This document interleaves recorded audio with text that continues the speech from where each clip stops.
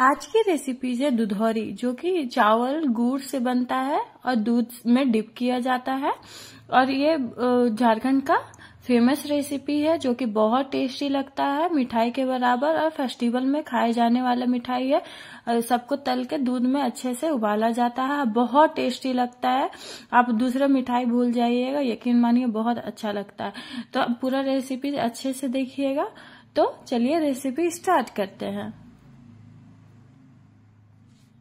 तो hello everyone स्वागत है आपका हमारे चैनल पे। मैं हूँ प्रगति। जो लोग नए हैं प्लीज़ सब्सक्राइब ज़रूर कर दीजिएगा। आज जो लोग सब्सक्राइब कर चुके हैं थैंक यू सो मच तो सबसे पहले चावल को हम भिगो के रखना है कुछ देर के लिए और इस तरह धो के आ, आ, मतलब रख देंगे।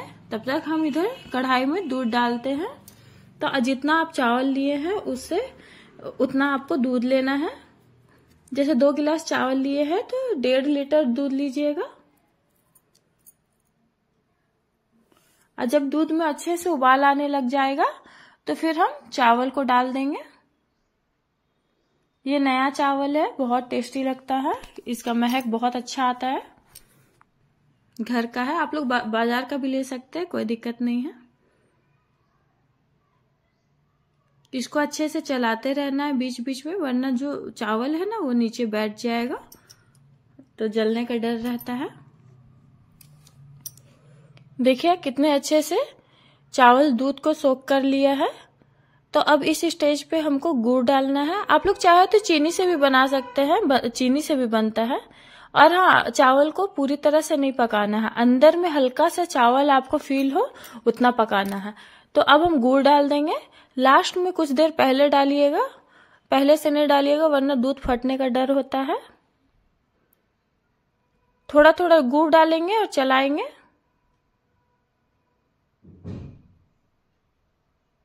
एक ही बार गुड़ डालने तक नहीं छोड़ सकते, वरना नीचे बैठने लग जाता है।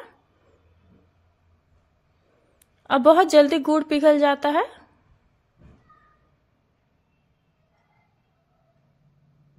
फिर बचा हुआ गुड़ और डाल देंगे।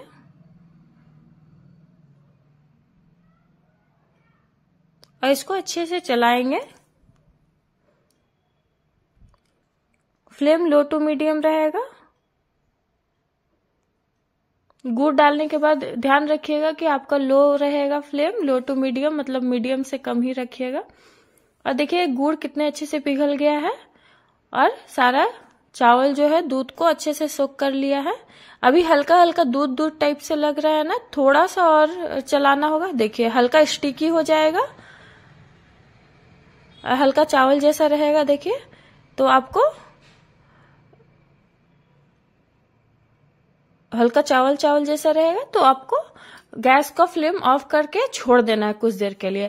और इस तरह जो मैसर होता है ना, पोटैटो मैसर, उससे आप कर सकते हैं, ये हम दिखा रहे हैं। ऐसे झारखंड का जो पारंपरिक तरीका है वो सिलवट्टा लोढ़ा पे है, उसमें बहुत अच्छा बनता है, ये मिक्सी में नहीं बनता है, ध्यान रखिएगा। अगर आपके पास ऐसा मैसर है तो आप मैसर में बना सकते हैं।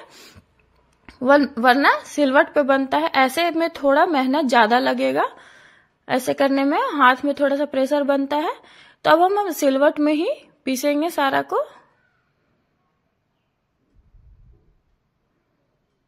और ध्यान से पीसा जाता है बहुत अच्छे से। देखिए, हल्का चावल चावल जैसा दिख रहा है, पीसने के बाद आपका ऐसा हो जाएगा। तो अब क्या करना है, जब सारा पीस जाएगा, उसके बाद ऐसे हाथ में ना तेल को ले लीजिएगा। और तेल को लेके, पेड़ा के जैसा हाथ में तेल लेके गोल गोल गोल गोल करके दबा दीजिएगा।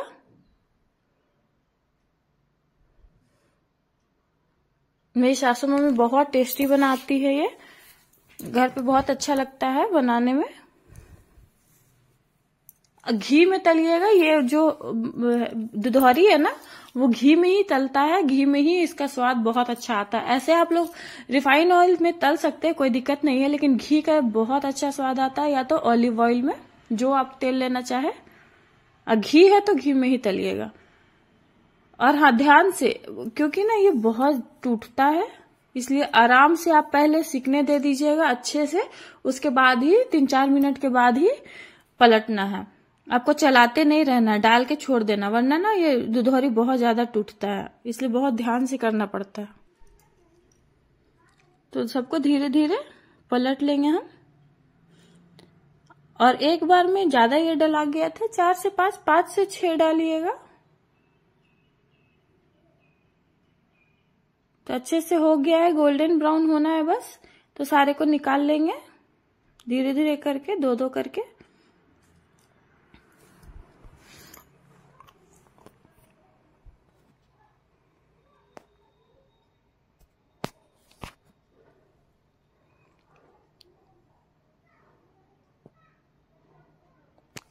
तेल का भी जो फ्लेम रहेगा वो लो टू मीडियम ही रहेगा हाई में नहीं तलिएगा ज़्यादा। देखिए कलर ऐसा आएगा। वो पुआ भी बना है थे ना तो पुआ भी बना हुआ है। पुआ का रेसिपी शेयर किए हुए हैं अपने चैनल पे दो दो बार। अगर नहीं देखे तो जाके देख लीजिएगा। तो दूध को हम ऐसे चढ़ा दिए और देखिए, दूध में अच्छे से उबाल आ जाना चाहिए कुछ देर तक। उसको ऊपर में जो मलाई बैठेगा, उसको चलाते रहना है और अच्छे से उबलने देंगे दूध को।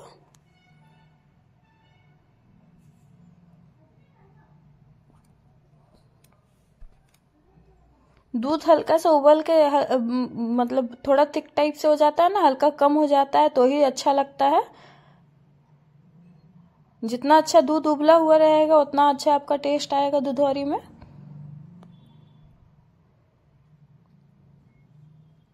तो अब हम चीनी डालेंगे। अच्छे से दूध जब उबल जाएगा, तब चीनी डालिएगा।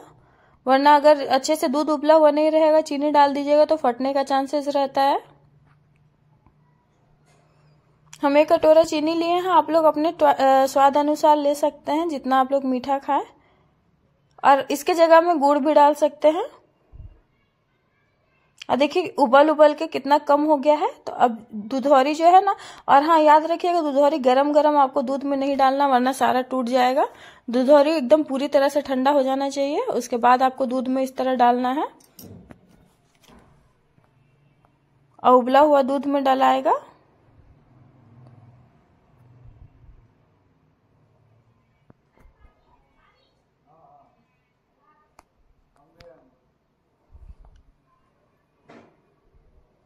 सारे को डाल देंगे हम।